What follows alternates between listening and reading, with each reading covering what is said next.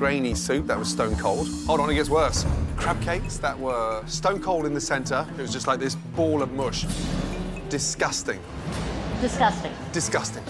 That's impossible if a crab cake stone cold. You're telling me I'm exaggerating? I think you're one of those customers that I would fire immediately. Yeah, You fire customers? I have. Okay.